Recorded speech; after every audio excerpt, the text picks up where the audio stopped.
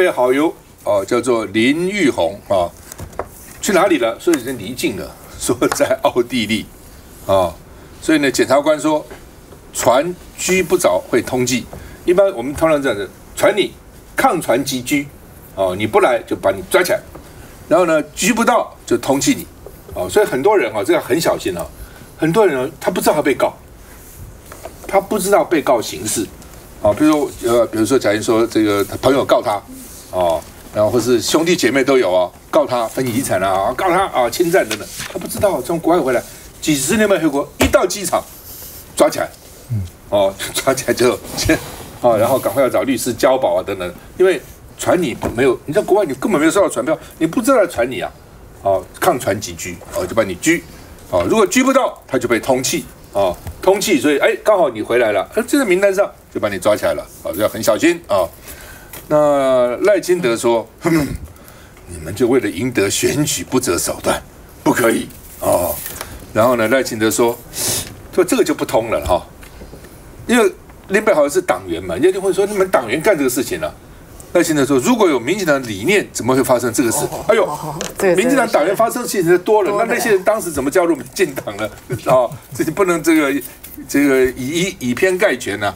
啊，那另外呢，侯友谊就问说了：对了，林北好像是翻车的，但你进口但你绿营讲清楚了没有？这是一个事实摆在这里，这跟林北好像没关。他提供的资料对还是不对嘛？不对，你当时就可以讲那个资料都错的，你也没讲到资料是错的哦。”所以呢，食安问题还是要还人民公道，人民还是在乎食安问题嘛，哈。那这个蔡宇是说林北好友是替云林张家服务了，哈。那张家县政府已经否认了这个云林县政府嘛，哈。那另外呢，吴英林说呢，农业议题有中国的影子套路在后面。那蛋商就说，很容易归你们，不要老是么扯中国嘛。我们看一下。物业本专恐吓案被检警逮捕，收押禁见。台大法律系毕业的他，担任过云林县长张立善的网络小编，更在张家俊要选立法委员时担任过发言人。如今国民党政策会的工作也不保。为许姓员工交友不慎，造成这个一个争议，我个人督导不周，感到紧拍醒。为了这个议题，政策会执行长曾明宗亲自道歉。国民党更有许多人因为恐吓案人落网了，才知道有许哲斌这号人物。我们认为这件案子没有必要的无限上纲，他确实是我们的党工。不过，主使的这个人在第一时间也承认他具有其他政党的党籍。我们认为这两个人纯粹就是一个私人交往的关系。深夜得知消息，一早国民党开会决定解雇许哲斌。两场记者会都说明这件事是急着切割还是危机处理，看得出党中央非常重视的坏蛋议题，就怕回力标和舆论导向烧到自己。哎，其实康哥，你知道？这两个礼拜已经大家比较少在谈蛋的事情，很简单，就是因为那个可能坏掉的蛋，或者是进口即使有混蛋，它慢慢都都已经从市场上汰除了。所以当那个蛋的恐惧正在消退的时候，突然林北好有这个大翻车，对他也好，或是对挺过他的来讲，都情何以堪？那我们一个一个跟观众朋友爬说清楚哈，这个许哲斌他确实是以前帮过。张家俊帮过张立善嘛？嗯，他确实是在国民党现在目前的政策会啊？他确实好像也就是帮国民党在做事，是党工嘛？那你今天党工出事情，民进党还不上去压着你，你在地上摩擦？他当然大力讲嘛。人要心理学专家，今天好几位在这边哦。人要骗人之前要先骗过自己。对，对对对，来，人要心理系对的哦。所以康哥你知道吗？人要骗人之前要先骗过自己啊。民进党支者过去这两个礼拜是是是有怨气的，因为但是没处理好啊，处理干那对吧？陈其忠下台以后，现在好不容易讲到说这自导自演，他还管你啊？刚刚我听到佩君跟那个正在讲，你们讲的是有道理啊，蛋归蛋呐，自导自演归自导自演，他他还给你管呢，他就弄在一起，这都是 gay 啦，那边好多都是欧贝冲的嘛，所以他要重拾他的信心啊。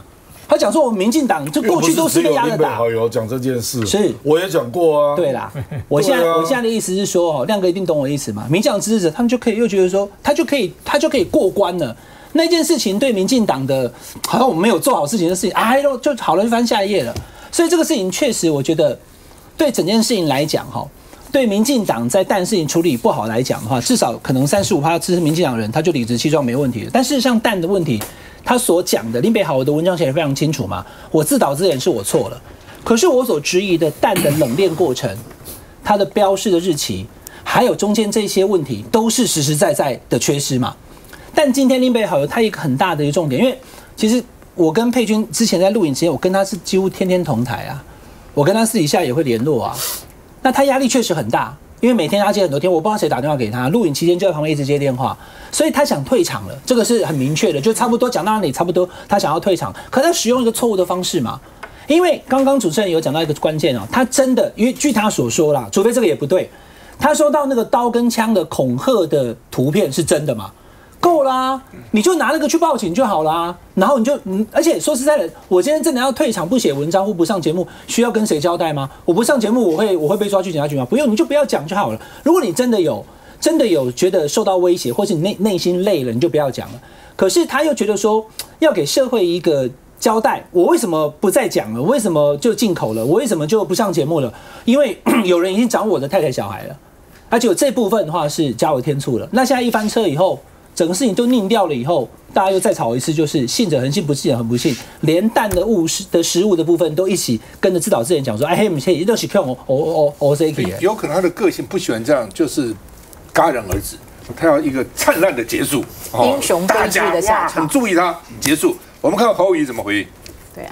林北好友认了自导自演，自家党工牵扯其中。国民党总统参选人到屏东跑行程，侯友谊被问到这件事，他就问民进党进口蛋的内幕查清楚了没？在这里再度的呼吁民进党，还写最重要的问题是，你的蛋怎么进口的？到底有没有官商勾结的内幕？你讲清楚不？提到进口蛋，脸书粉专林北好友版主林玉红认错之外，也提到该监督政府施政的应该是在野党，如国民党也未能够有效积极监督，反倒资料都从他那边抄袭，痛批国民党是监督不力。涉及到网络言论以及所有的行为，任何人都是要接受司法调查，司法调查的过程当中。勿忘勿重，有违法就办，没有违法，玩家清白。而跟国民党许信党公是朋友关系的林玉红是民进党的党员，他说会退党，这也被质疑是写好的剧本。千万不可以为了要赢得选举不择手段了。如果这个事情最后证实是真的自导自演的话，这个也是台湾民主化之后第一次。有在野党的党工以自导自演的方式抹黑政府，制造对立，引起社会恐慌，企图得到选举的利益，这是非常非常不应该的。民进党总统参选人赖清德喊话要国民党查清楚林北好油风波，扯出蓝营党工、绿营党员，蓝绿都很难置身事外。你刚才说林北好游的背后，也许水很深，我有不同的看法。也许这个水一点都不深。我觉得问题出在林北好游这个人，也许他就是跟我一样，就是忧国忧民的。但是他忧国忧民有他的方式。会做这事吗？那么你看他一路没有，他一路哈，你看跟的朱立伦啊，跟的这个曾明忠啊，他都找到很重要的位置去做他。该做的事情，林北豪有没有跟曾明忠，没有跟朱立伦啊？没有啊，他们都有讲是他的党工啊，是他的党工啊，做很小的事情，但但但是一般的人不会爬到那个那个地方。我我认为林北 三万五，林北林北好友的问题出在这个人，所以我我真的刚刚就建议说，柯震应该是找他做一个人格测验。看看他是怎么样的一个人，忙得要死啊，去搞这个干嘛？我讲，他是一个小人物啊，碰到一件最近很热门的小事情啊，他把它讲成很轰动，但是我不同，我不同意他要退场，必须采用这个方式。我倒有一个想法啦，因为在我们现在高科技这个资讯传播的方式而言呐。就是太快了，传播很快，作假太简单了。你第一时间点没有办法分辨到底是真是假。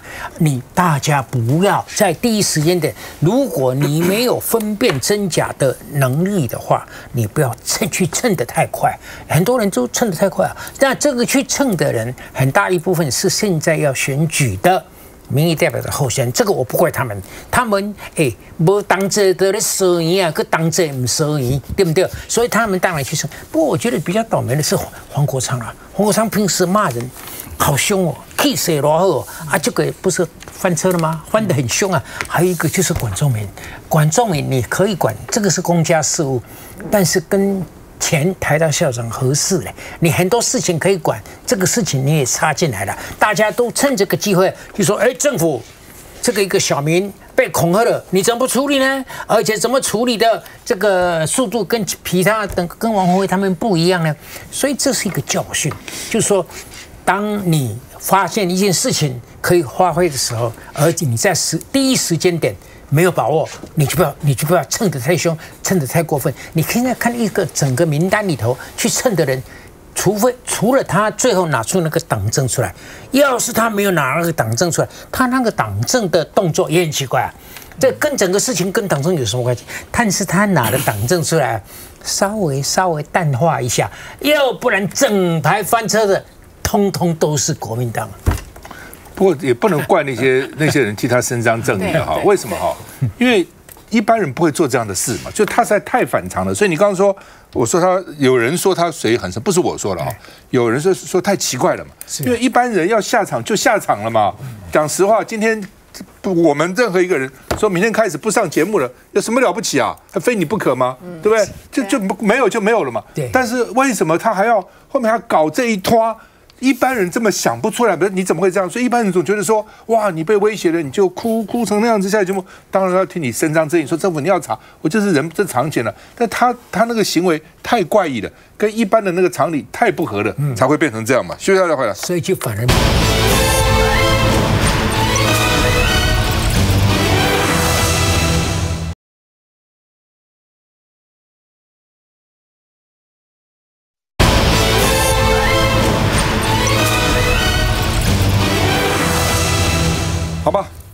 前两天公布那个潜舰哈海鲲号哦，那说呢烦躁很粗糙，看 因为他现在把它盖起来不给他干，盖起来很粗糙哦，所以专专家的质疑没有完工嘛，否则为什么 这样盖起来是因为没有完工不给他干是不是啊？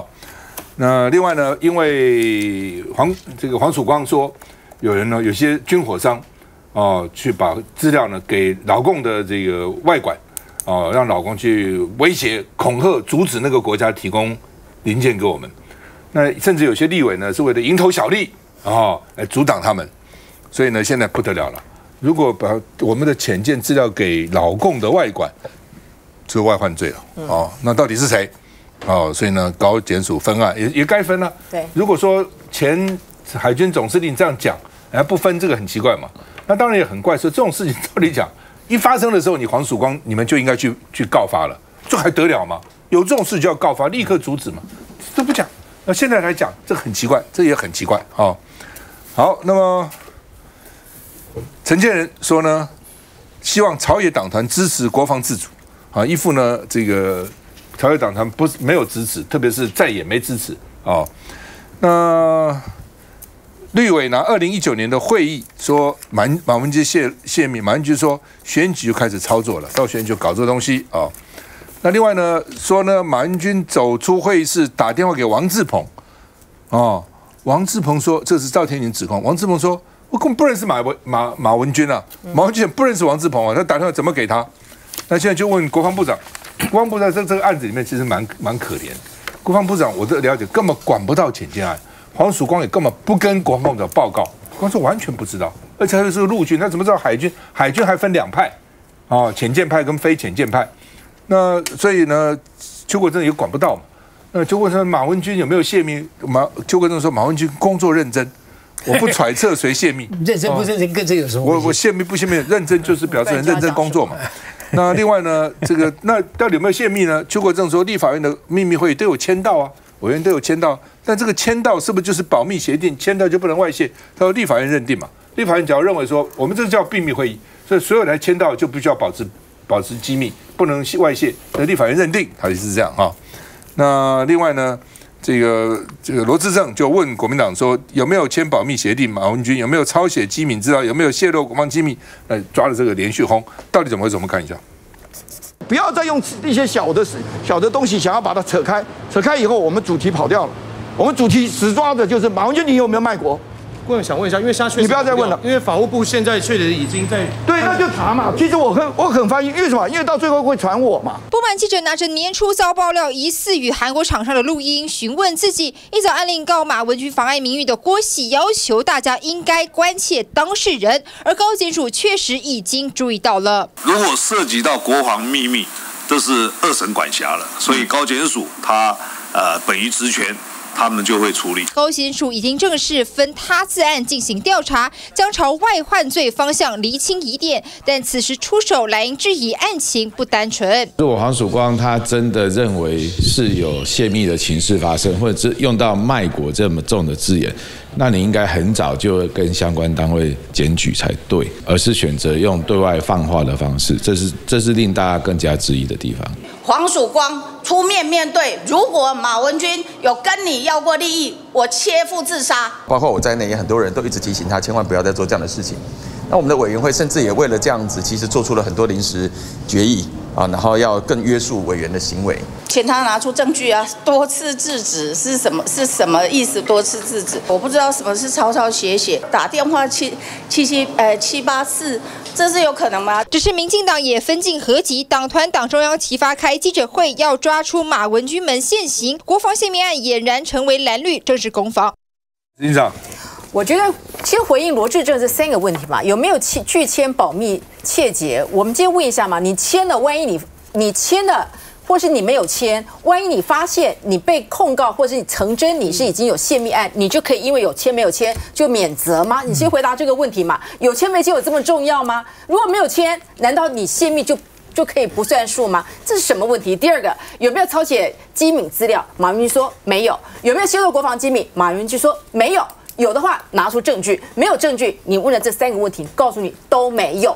所以问这个问题到底在干嘛？这完全是一个政治性的一个操作。而且我个人认为说，郭喜还要选我们左南区的一个立委吧，那他本身可能会有一些军系的一些的关系，所以他在这边运作的也非常的多。可是你只要看他在这些平常政论节目跟他所讲的话，他今天更离谱的是，他把这个李喜明、黄镇辉跟王志鹏，还有加上马文君四个人，把他们说是属于卖台集团。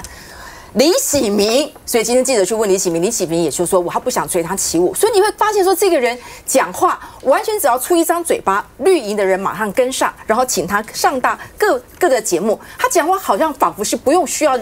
做任何的负责任的，人家只要质问他，他马上可以爆出更多的。然后这些有没有人去查证他所讲的到底是不是？然后每个人就根据他所设定的前提来做后续的处理，然后把过去我们当过立法委员，在场有非常多立法委员，每个人对于所谓的浅见这么重要的事情，或对一些重要的。这个设施就像前瞻，我们只要对前瞻有任何一件事情，他就说你在阻碍地方的发展建设。请问立法委员，他就只有透过预算冻结或者是删减来要求你讲得更清楚。讲得更清楚，并没有把你做任何额外的一个部分。为什么我们连这样一个基本的职权都要被你关上？你就是阻碍地方建设，你就是卖台呢？这是什么样的一个角色？怎么会变成是这个样子？所以我个人认为说，诚如刚刚赵大哥所提到的，黄曙光，你用这样的身份。你可以在那公开的指证，就说有人蝇头小利，那个人是谁？有军火商去窃我们的这个机密卖给中共大使馆，何等重要的事情，赶快去处理，赶快告诉我他是谁，我们都想知道。你不能讲了一句话之后放了炸弹就走人，然后透过影射让后续的每一个人都出来澄清是这个不是这个，更不要说是有人跟无限上岗的开始去讲一些有的没有的。我觉得在选举时间这种影射，黄曙刚说清楚吧，说清楚。郑大兄，我觉得郭喜今天改口嘛，他说是军火商把潜舰资料交付中共大使馆，与马文君无关啊。那黄曙光是国安之委哦，你如果知道军火商干了这个事，你为什么不出来指名，立即制止提告？这个是国安之委该做的，这是你的本业。你你国安之委会不知道这个事？如果黄曙光知道，国安会一定知道。所以为什么没有提告，没有任何警告的动作？我说针对这个军火商，那个军火商可能在台湾有办公室啊。还有第二个啊，坦白讲，这种机密资料我也看过啊，我也参与过啊。手机不能带进去，现场怎么可能抄呢？有人在那边巡呢，你怎么可能用笔那边抄？还说可以一半跑出去打电话？这个现场应该有很多人吧？除非啊，他那种机密资料是说我有一个浏览器了，那随便你去看。如果不是这样，而是现场看，然后大家看完这就收收收回去了。这一种现场是有人盯着你看呢，怎么可能用笔抄又打电话？那说出这种话的人应该出来举证啊，说马文君干了这个事啊，这个实在是难以想象啊。阿生，这件事情哦是大事，大的不得了。我觉得马文军马文君的伤害是奇重无比啊，所以他今天硬甚至赌下他要切腹啊。哦，所以我觉得这个事情的起头是黄曙光嘛。那你黄曙光何等重要的人物，你既然起了头，你就要一路。负责到收尾为止，你跑不掉的，根根本不需要剪掉去查，你都晓得是糟糕了。我跟你都讲了哦，现在怎么办呢？当然就是要靠你一个人，你非讲不可哦。所以呢，这个又回到那个这个林北林北好友的一样啊，这件案子啊，是我我把它归类属于那种第一时间点啊，我不敢站边的案子。你敢站边吗？你敢说马文君绝对没事吗？你敢黄曙光都该做的都做了吗？还有郭喜当然是一个我们现在比较肯可以啊有共识的，就郭喜是一个不简单的人物，或者是是不啊真的是能够呼风唤雨的不简单的人物。我们讲到他会告没，我不知道。但除了郭喜是一个问题人物以外，很大其他部分还没有水落石出的部分，现在我认为都是言之过早。我不敢站边，我再重申一次，我不晓得从何讲起，而何况这个事情我是外行。不，但这个东西也怪哦，就是说有军火商把这个潜艇的机密送给海外国外的老共，那军火商为什么干这个事呢？一定是抢生意没抢到嘛。嗯，抢生意抢到了，换句话说，就不是只有一个军火商嘛。军火商跟谁抢？跟黄曙光抢啊？不会嘛？一定有几个军火商。我用了这个军火商没有那个军火商嘛？一定是这样子啊。那你用了什么军火商？那个军火商背景是怎样？对，谁在做代理？谁在做前客？拿了多少 commission？大家就很想知道啊。这是一个。那为什么让这个军火商不满呢？那如果这个军火商不满的话，他并没有介入，并没有拿到这个标案呢？那他有什么资料可以给中共大使馆呢？对啊，这个逻辑知道这意思吗？就是说我一定是参加这个 project。我在里面搞，对不对？好，除非搞一半给你翻脸了。好，我把这个机密给那看起来是 抢生意没抢到嘛？当没抢到以后，他有什么东西，有什么值钱的东西，他最多大概把那个标单给他看看嘛。最多这样，你们来投标哈，来来来，按照这个标单来报价，最多那个什么伟大的机密呢？那根本就不是什么机密嘛。我不知道这是他们到底牵涉多少机密，我只知道以前我当立委的时候，很多时候国防外交开，特别是国防开委员会，然后呢，哇。国防预算包括预算哦，锁在那个群贤楼旁边那个小房间有没有？那个预算书还用什么？还用链子扣住的。然后呢，我们什么都不能带，笔记本都不能带，不能带进去翻完了，你要记在脑筋里。对哦，然后就啊，一副多严重。然后后来我看了很多资料说，他那个海军官校的。或是那个军校的前后前期同学退役的，在干军火上的那些资料，他们通通有，知道这意思吗？哦，对，立委好像哦，你们每个立委都可能会泄密。然后呢，你想想看，他那个资料怎么谁给他的？他怎么弄出来？军火商给他的嘛？知道这意思吗？军火商才会告诉你什么炮、什么弹、什么飞弹型号是什么样，你要不要买？给你参考。只有军火有这个，军火商都有做好的 proposal 给他们的学弟哦，拿出来很伟大，你们要保密都不能。我那时候我就我曾经为这个事发言过，我是很生气，你们可以这样干吗？哦，到底怎么回事？我们休息一下。